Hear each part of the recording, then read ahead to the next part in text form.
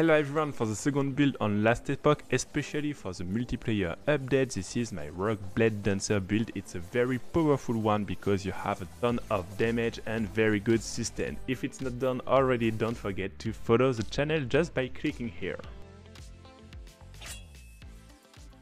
So this build is around Flurry, we'll just have one DPS spell and we'll use the dash combined with Shuriken which increase your armor and decrease enemies armor. Then we have the decoy, it's very useful against bosses because it will also decrease their armor and the smoke bomb which will increase your life leech and dodge rate so also very good to have it against bosses. For the stats you'll be looking at melee attack speed, it's important to have it, and critical strike chance, especially on flurry, that's why on the stats sheet you don't have much global critical chance because you have plenty of critical chance on flurry, you'll see that in the gameplay you mostly only crit. Third one, critical chance multiplier in order to increase your overall damage. For the basic passive, you want to have attack speed just here. Here we have some dexterity and heals, dodge rating, with this one also granting chance to dodge for the glancing blow and increase damage when you have two weapons. For the Blade Dancer we want additional melee damage here and then we'll take a chance to reduce the incoming damage chance to create a Dusk Shroud when you are hit and here we'll have the increased melee attack speed with additional chance to create a Dusk Shroud. Increase damage when you have two weapons and increase damage at full heals.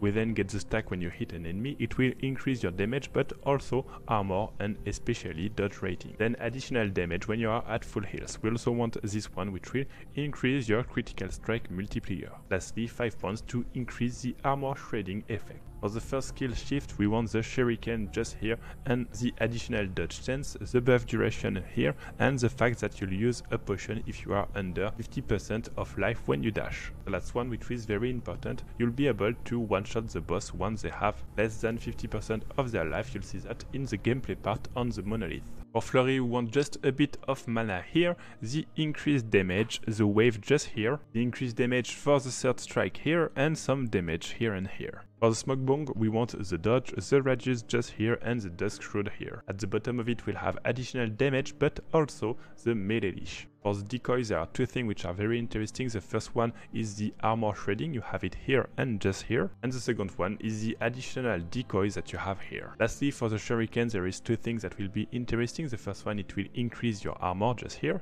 and here it will decrease your enemy's resistances. You'll also take the duration of your shurikens and the piercing chain. For the gear from the gameplay, you'll want physical damage, chance to crit, attack speed, armor shredding, a bit of dexterity, resistances and life. Of course keep in mind that you should always prioritize chance to crit on flurry instead of global chance to crit in order to simply have better chance to crit values.